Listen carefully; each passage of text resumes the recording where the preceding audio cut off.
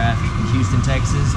As some of you already know, two weeks ago we set the world record with a C7 with the Gen 5 power plant with the LT motor.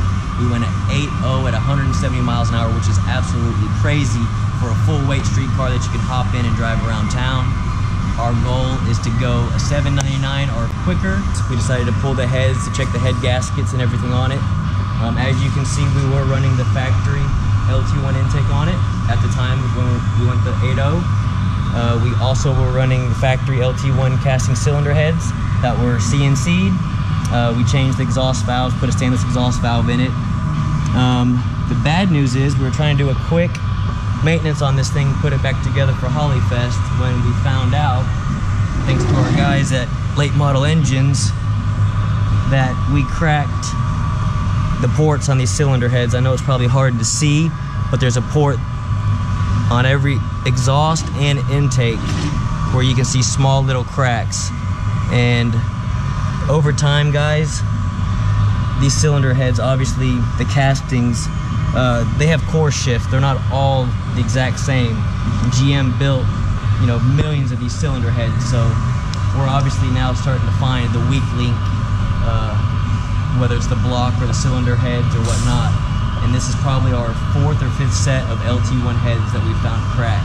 We were literally planning on just doing basic maintenance on it, putting it back together, and uh, having it ready for next week for Holley Fest. Well, we got the bad news this morning about the cylinder heads being cracked, and LME, thanks again Brian and Pecos, came to the rescue. We now have a new set of cylinder heads ported, CNC'd by LME new valve springs, titanium retainers, and we also did the new valves as well.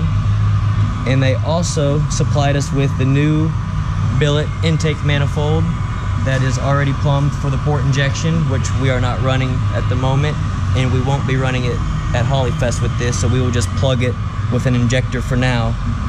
Um, so the old combination is still a stock casting head, uh, the main difference going to be now is we're going back with head studs instead of factory head bolts, which is what we had in it again when we ran our record-setting pass with that 8.0 at 170. The head studs will help hopefully keep the heads on there and keep the head gaskets happy.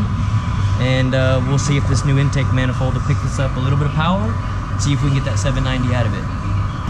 As you can see guys, it's not that complex of a setup obviously before with the stock intake and everything on it, it really was a very simple, you know, our LMR 1000 horsepower package uh, with the addition of a air to water intercooler and a few other, you know, little goodies that we changed up on it. But it's still a 1 and 7 8 stainless steel header from American Racing, uh, cam motion camshaft, and an LME 416 short block. Uh, Nitrous Express helped us out with a little single nozzle on it for an extra 150. We might even upjet it to a 200 shot come Holley Fest if uh, if it's still going 8.0s to try and get us in the sevens. As you can see, guys, the interior uh, of the C7 is still all factory, like the way it came from the dealership. Obviously, with the change of the shifter from the Powerglide conversion we did. Um, but on the eight second pass we ran with the 80170, it still had the factory leather seats in it. Uh, again, all the functions work like the factory. You got the radio, AC, power steering, uh, factory carpet still in it. Um, obviously, just the nitrous bottle brackets in the back is in the ice tank is what's changed. Uh, this setup has a custom air to water, uh, thanks to my friend Aldo.